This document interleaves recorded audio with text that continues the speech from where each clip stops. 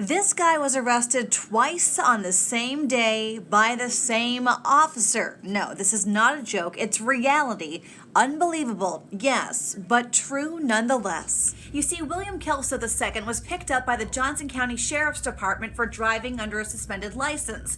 He went to jail that day, got out, but was arrested four hours later. That's when the same officer picked him up on a second charge of driving on a suspended license. Kelso was taken back to the Johnson County Jail, and when asked why he was driving, this man told officers he needed to get to work. In the RTV6 newsroom, I'm Beth Vaughn.